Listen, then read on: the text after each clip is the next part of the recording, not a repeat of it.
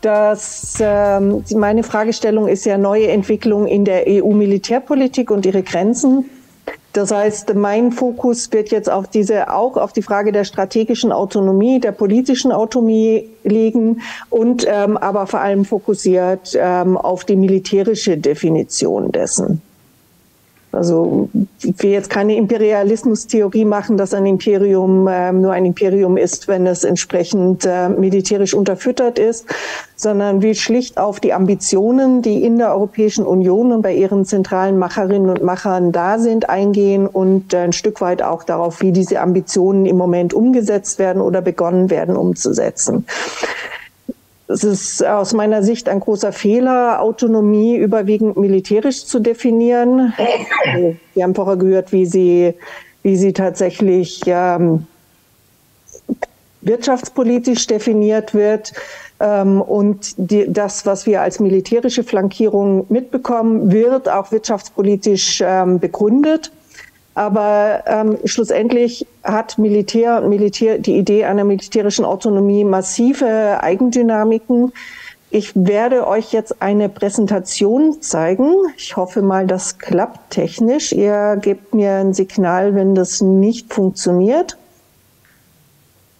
Moment. So. Ich hoffe, es funktioniert. Und ihr seht, ja. was ich auch sehe. Ich muss jetzt gerade nur die Präsentation starten und dann. So. Jetzt müsste es funktionieren. Da diese strategische Autonomie schlussendlich mit ähm, der Frage militärischer Stärke gekoppelt ist, gibt es an dieser Stelle auch ähm, offensichtlich kein Limit mehr dessen, was für die strategische Autonomie der EU alles notwendig ist. Dieser Vorschlag, den ich euch hier präsentiere von Joschka Fischer, der sagt, dass ähm, zur Abschreckung Russlands auch die eigenen Atomwaffen der Europäischen Union gehören, ist nicht wirklich neu, hat sich in den letzten Jahren vorbereitet. Und ich denke, das ist eine Debatte, auf die wir uns einstellen müssen, dass wenn nun über militärische Autonomie geredet wird, tatsächlich auch die Frage der europäischen Atomwaffen eine immer deutlichere Rolle spielen werden und eben nicht mehr die Partizipation an US-amerikanischen Atomwaffen, sondern eben die ein Stück weit eine Europäisierung der französischen Atomwaffen ansteht. Gleichzeitig müssen wir uns auch bewusst sein, wenn über militärische Autonomie der Europäischen Union geredet wird, dass es hier um eine sehr starke Rolle auch Deutschlands geht. Ganz kurz zur Erinnerung, dass ähm, zumindest Deutschland und Frankreich zusammen die politisch dominierenden Mächte sind. Deutschland sicherlich ähm, trotzdem, dass es momentan wirtschaftlich schwächelt, immer noch der wirtschaftlich ähm, dominierende Part innerhalb der Europäischen Union zukommt.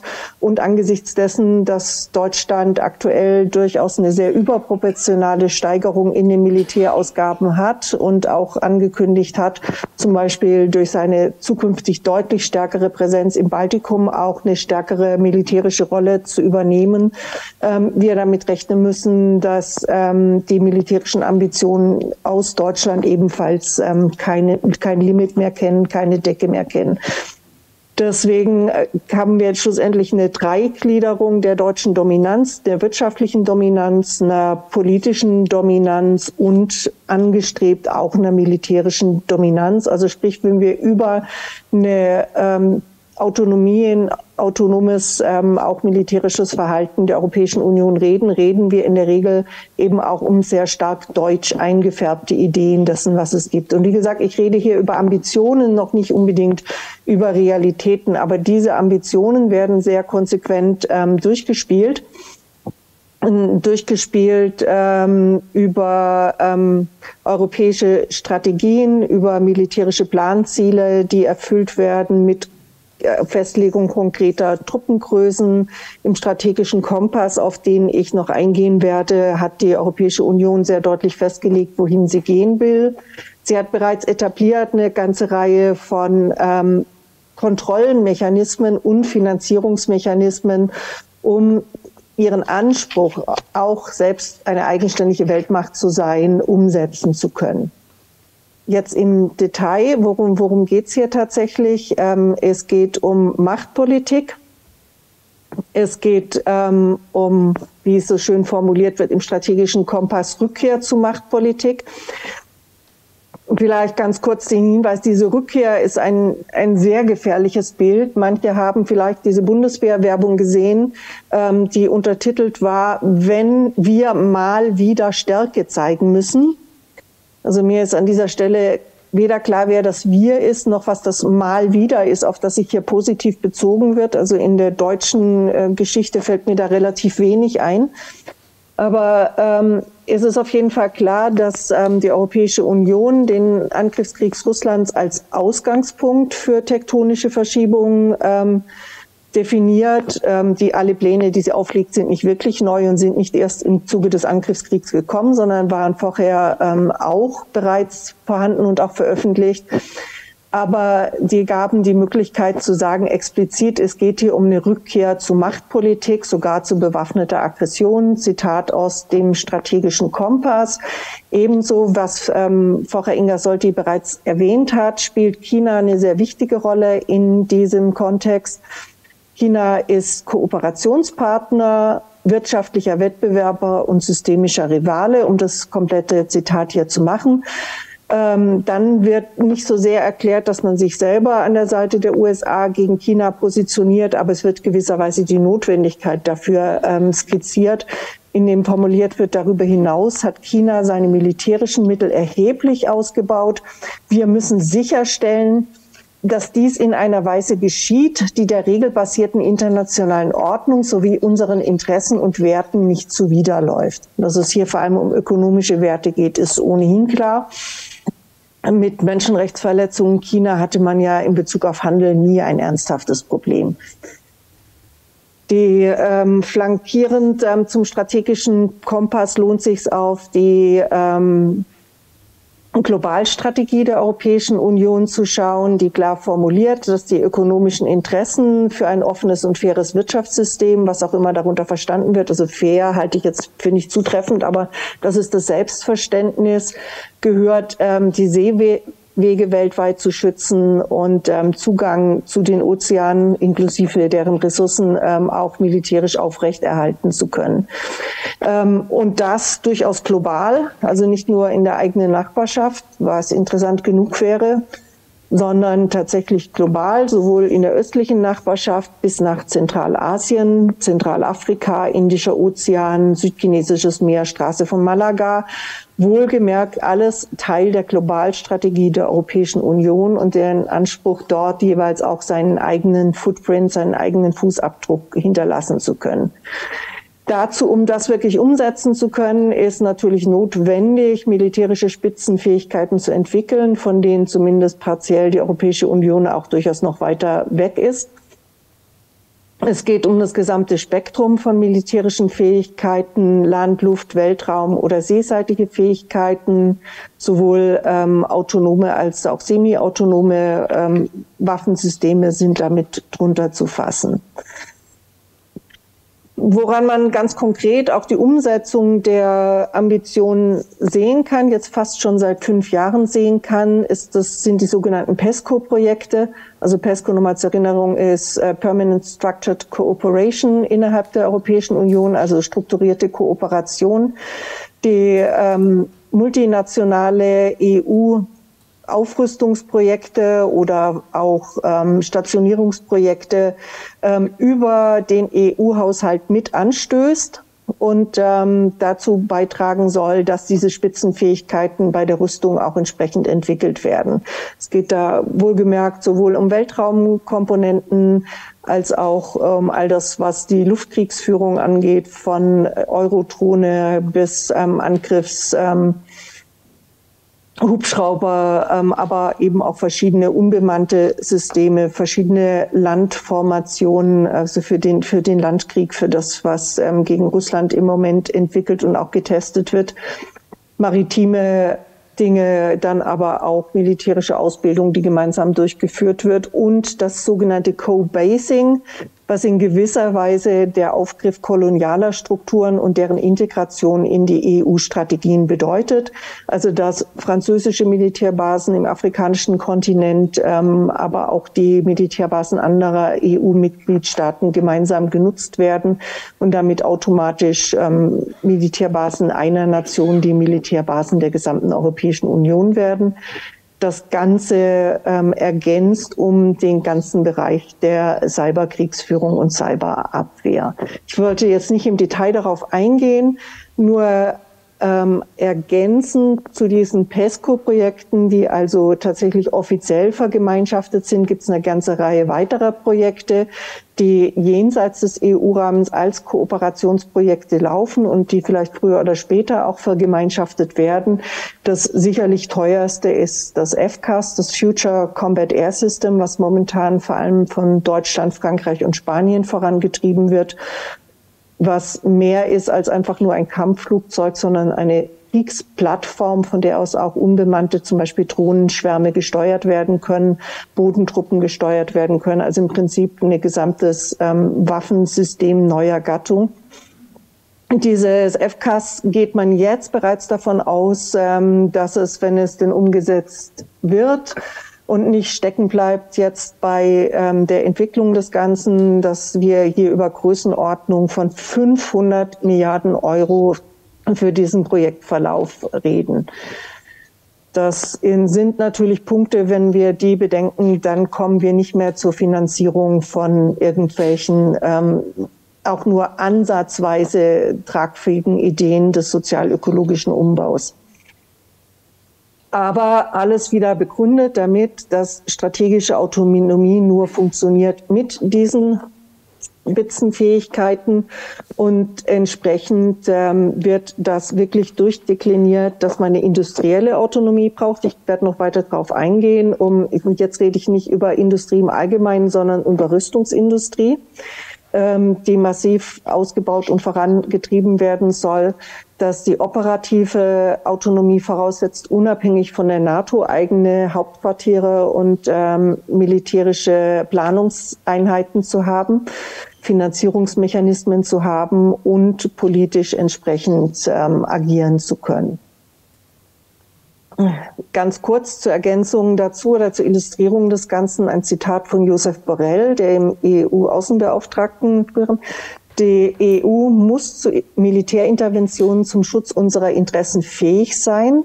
Sollten die USA nicht involviert werden wollen, also in gewisser Weise geht es bei der Vorstellung, die hier ist, von strategischer Autonomie darum, eine Art ergänzende, also im Kern an der Seite der USA, da teile ich Ingas Einschätzung, aber eben die Möglichkeit auch haben zu wollen, unabhängig davon halt handeln zu können. Als Europäer müssen wir diese Krise nutzen, um stärker zusammenzuarbeiten und unsere strategische Autonomie zu stärken. Als Europäer müssen wir in der Lage sein, Dinge auch selbstständig tun zu können. Das fasst, glaube ich, relativ gut zusammen, was ähm, politisches Selbstverständnis ist der europäischen politischen Eliten. Ähm, dazu gehören ähm, die Ideen von Schnelleingreifkapazitäten, das ist jetzt von vor einem Jahr Größenordnung von 5000 äh, zu haben. Vorstufen davon gibt es ja bereits mit den European Battle Groups. Allerdings sind die Pläne, die jetzt gerade in der Diskussion sind, solche, die weit über 5000 äh, Mann und auch ein paar Frau starke ähm, Einsatzgruppen gehen. Interessant ist das Vokabular, das hier von erforderlichen strategischen Enablern, also Ermöglichern, also vom Militär als Ermöglichungsmechanismus, mit dem militärische Ziele und politische Ziele umgesetzt werden können. Es gibt natürlich auch Probleme dabei. Ähm, das Ganze setzt ja voraus, dass sich die Europäische Union als Institution auch einig ist über die Ziele, die man damit verfolgt.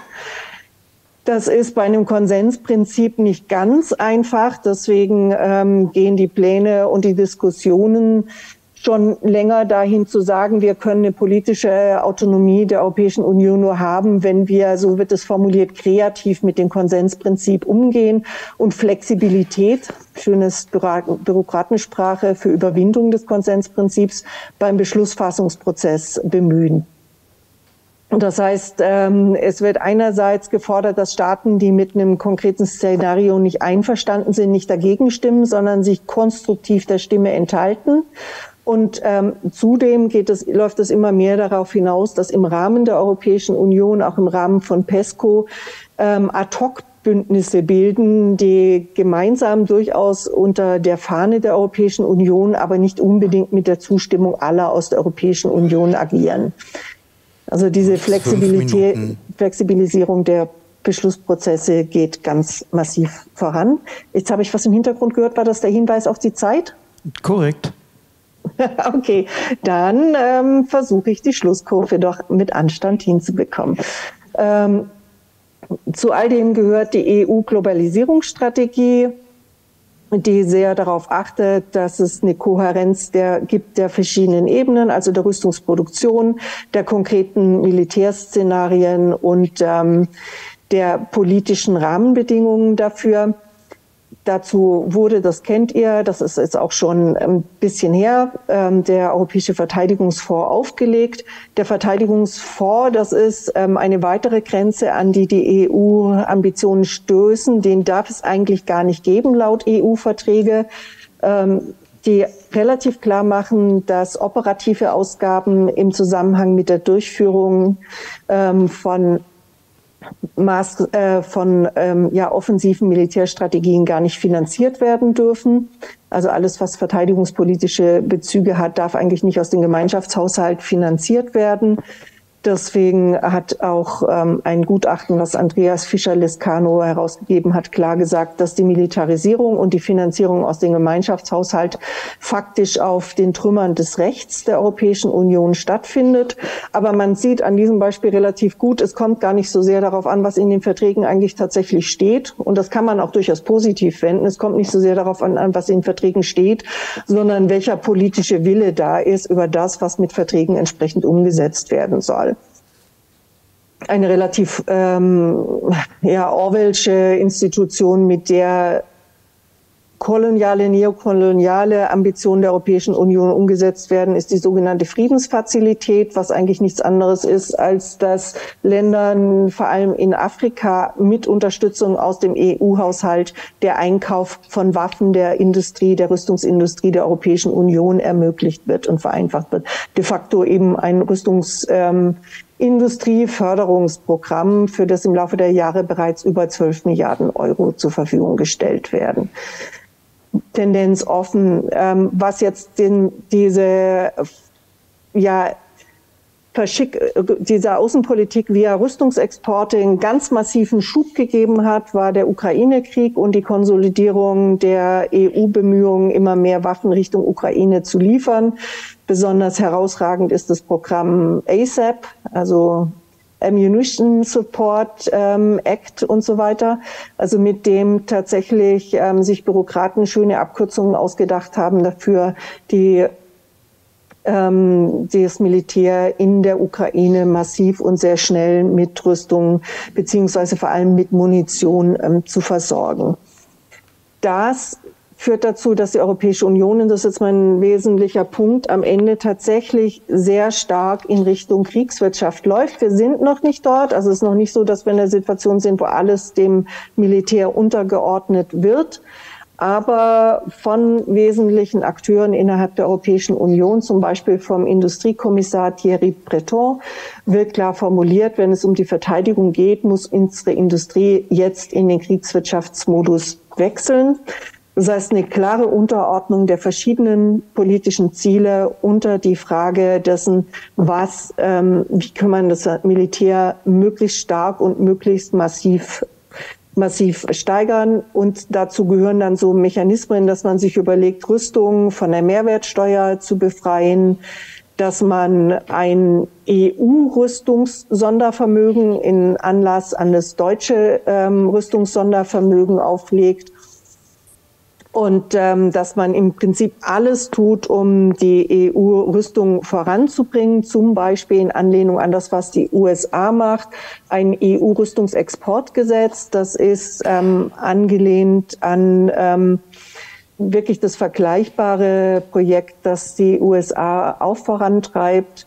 Ähm, Stärkung ist ganz massiv den EU-Rüstungskomplex voranzutreiben. Und ähm, zentral ist, dass wir im Kopf haben, dass ähm, wenn die EU-Rüstungsindustrie vorangetrieben wird, bedeutet das nicht nur, dass die EU-Staaten sich selber aufrüsten, sondern Rüstungsindustrie ist von ihrer Struktur her so angelegt, dass sie nur funktioniert darüber, dass ein Teil der Profite über Rüstungsexporte kommen. Also wir haben im Prinzip die Situation, dass in dem Moment, in dem Rüstungsexporte diskutiert werden, auch ähm, das der Kern ist, der die Basis ist, auf der sich die gesamte EU-Rüstungsindustrie aufbaut. Ich zitiere mal noch unsere frühere Verteidigungsministerin ähm, AKK. Wer Exporte um jeden Preis verhindern will, muss ehrlich sagen, dass er diese Industrie grundsätzlich in Deutschland nicht will und Vergleichbares gilt für die Europäische Union also wir haben eine Situation, in der die Rüstungsindustrie massiv gefördert wird aus dem Gemeinschaftshaushalt, aus separaten Haushalten auf EU-Ebene, dass ganz klar darauf gesetzt wird, eine strategisch-militärische Autonomie gibt es nur über eine starke Rüstungsindustrie und ein starkes europäisches Militär. Und hiermit komme ich dann auch tatsächlich zum Schluss meiner Ausführungen indem ich ähm, Charles Michel als EU-Ratspräsident damals 2020 ähm, zitiere, der klar den Weltmachtanspruch der Europäischen Union betont. Wir senden eine Botschaft nicht nur an unsere Bürger, sondern auch an den Rest der Welt. Europa ist eine Weltmacht. Wir sind fest entschlossen, unsere Interessen zu verteidigen. Europäische strategische Autonomie ist nicht nur ein Wort, 70 Jahre nach den Gründervätern ist die strategische Autonomie Europas das Ziel eins unserer Generation. Für Europa ist dies der eigentliche Beginn des 21. Jahrhunderts. Und wirklich, ich muss sagen, diese Form der militärisch definierten strategischen Autonomie bedeutet keine, kein alternatives EU-Projekt, sondern es bedeutet das Kopieren von imperialen Konzepten, zum Beispiel der USA, keine Alternative in der Ausrichtung, da man ja meistens Seite an Seite miteinander kämpfen will. Und dadurch, dass es unglaubliche Ressourcen verschlingt, zerstört es auch die Möglichkeit europäische Integration über einen vernünftigen Sozialstaat und Bekämpfung des Klimawandels über sinnvolle und brauchbare ähm, Formen des sozial-ökologischen Umbaus zu machen. Deswegen halte ich das Pro Projekt für ein massives Sackgassenprojekt. Dankeschön.